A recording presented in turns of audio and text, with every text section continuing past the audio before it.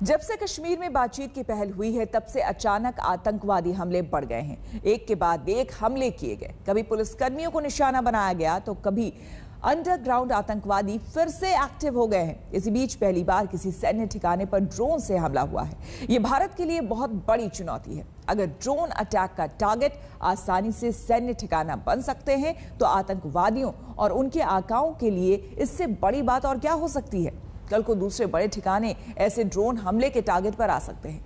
जम्मू में यही हुआ, जब लगातार दूसरी रात दूसरा सैन्य ठिकाना टारगेट पर आया।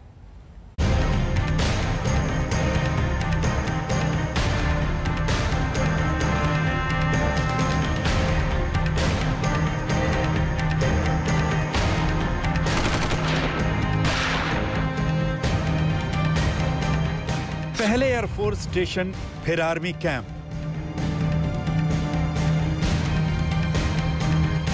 24 घंटे में ड्रोन अटैक की दूसरी साजिश। छोटे ड्रोन से बड़ी साजिश का बड़ा प्लान।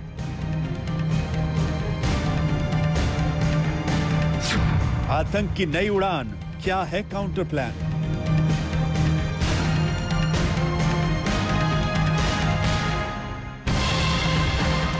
जम्मू के एयरफोर्स स्टेशन में जो हुआ, वो आर्मी कैंप में भी हो सकता था। अगर हाई अलर्ट ना होता, अगर जवान मुस्तैद ना होते, अभी जम्मू ड्रोन अटैक की जाँच चल ही रही है। 24 घंटे के भीतर फिर दो ड्रोन दिख गए। इस बार इन ड्रोन का टारगेट जम्मू का ही कालूचक मिलिट्री बेस था। रविवार की रात को ग्यारह बजकर पैंतालीस मिनट पर पहला ड्रोन दिखा। करीब तीन घंटे बाद रात दो बजकर चालीस मिनट पर दूसरा ड्रोन दिखा। इस समय मैं मौजूद हूँ कालूचक, रत्नुचक इलाके में ही। ये जो समूचा इलाका है, ये सैन्य इलाका है। यहाँ पर भी आप देख सकते हैं, ये सेना के कैंप है। सड़क के इस किनारे भी और सड़क के दूसरी किनारे भी। ये जो सड़क है, ये जम्मू पठानकोट राजमार्ग है। राजमार्ग के सटीक ही जो है, सेना के कैंप है, दोनों तरफ़ से, इस तरफ़ से भी और दूसरी तरफ़ से भी। ये कालूचक, रत्नुचक जो है, मिलिट्री इलाका है। रात को मिलिट्री बेस पर ड्रोन मंडरा रहे थे। एयरफोर्स स्टेशन पर एक दिन पहले ही हमला हो चुका था। इसलिए ड्रोन दिखते ही तुरंत हाई अलर्ट किया गया। क्विक रिएक्शन टीम एक्टिव हो गई। ड्रोन को गिराने के लिए सेना ने करीब 20 से 25 राउंड फायरिंग की। फायरिंग के बाद अंधेरे में ड्रोन गायब हो गए। सर्च ऑपरेशन चलाया गया, लेकिन ड्रोन के कोई अवशेष नहीं मिले। क्योंकि पहले से ही जम्मू कश्मीर में जो है हाई अलर्ट घोषित था। एयरफोर्स पर धमाकों के बाद एयरफोर्स स्टेशन पर धमाकों के बाद तो इसीलिए जो मुस्तैद सैनिक थे, उन्होंने तुरंत जब ड्रोन्स को देखा तो उस पर फायर किया। लेकिन चूँकि अंधेरा था तो ड्रोन को मार तो नहीं गिराया गया, लेकिन ड्रोन वहाँ से फिर दिखाई नहीं दिए। उसके बाद गहन तलाशी अभियान जो है, वो शुरू हुआ। अभी भी जो है, तलाशी अभियान जारी है, रत्नुचक मिलिट्री एरिया में भी और कालूचक मिलिट्री एरिया में भी। फायरिंग में अगर ड्रोन गिरे होंगे तो कहीं उनके कुछ अवशेष ज़रूर मिलेंगे, लेकिन ऐसा हुआ नहीं। तो इसका मतलब यही है कि फायरिंग के बाद ड्रोन भाग गए। लेकिन सवाल यह है कि ड्रोन ऑपरेट कौन कर रहा है? इसका रिमोट कंट्रोल किसके पास है? ये कहाँ से आ रहे हैं? और हमला करके कहाँ वापस जा रहे हैं? एयरफोर्स स्टेशन पर हमले में भी यही हुआ। अब तक की जाँच में ड्रोन के अवशेष नहीं मिले। यानी ये विस्फोटक से लैस होकर आए और एयरफोर्स स्टेशन पर हमला करके आसानी से वापस चले गए। अब तक की जाँच में यही पता चला है कि एयरफोर्स स्टेशन पर दो ड्रोन से छह मिनट के अंदर दो हमले किए गए। वो दो दो किलोग्राम विस्फोटक से लोड थे। ये हाई ग्रेड विस्फोटक था जो आरडीएक्स भी हो सकता है। 24 से 48 घंटे में फॉरेंसिक रिपोर्ट से सब क्लियर हो जाएगा। अगर आरडीएक्स की बात पुख्ता हुई तो इस हमले में पाकिस्तान का हाथ होने के पक्के सबूत मिल जाएँगे।